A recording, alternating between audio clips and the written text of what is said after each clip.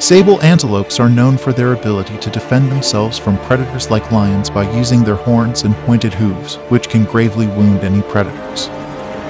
Female sables are especially aggressive, resulting in the establishment of a female hierarchy system based on seniority. The sable antelope is a large and handsome antelope that lives in savanna woodlands and grasslands in east and southern Africa. Both males and females have ringed horns that curve backward and rise vertically. Male horns are longer and thicker, ranging from 80 to 165 centimeters in length. Sable antelopes live in herds consisting of 15 to 30 females and calves.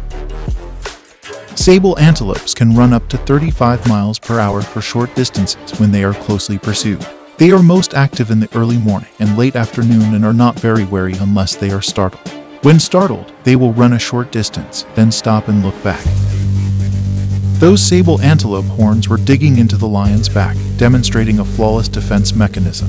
This is precisely why their horns curve backward, providing optimal protection against predators. When the entire herd is at rest, it's common to see each individual animal facing a different direction. By doing this, the herd is able to keep an eye out for danger from all angles. Additionally, should danger appear, the herd will tighten, forming a ring of steel around calves and supporting each other in defense.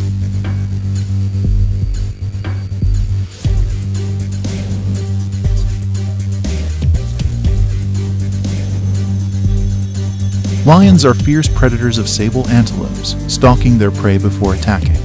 When threatened, sable antelopes confront their attackers aggressively, using their scimitar-shaped horns to impale them.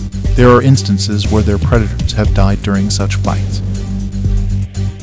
A face-off between a lion and an antelope is likely to end in the favor of the king of the wild. But sometimes likely things don't happen, like in the case of this video where a sable antelope escaped its way out from an attack by one lioness.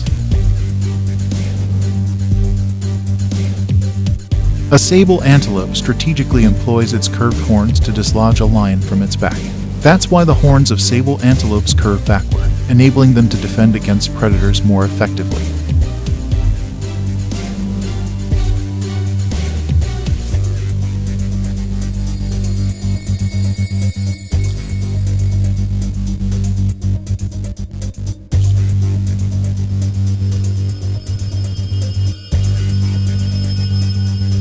So lions choose to hunt in prides to ensure they have food when they need it and to reduce the risk of injury. By collaborating in group hunts, they increase their chances of successfully capturing prey, ensuring a stable food supply for the pride. Additionally, hunting together allows them to distract and overwhelm larger prey like sable antelope, reducing the likelihood of individual lions getting injured during the hunt. This cooperative strategy not only safeguards their food sources, but also promotes the overall safety and well-being of the pride.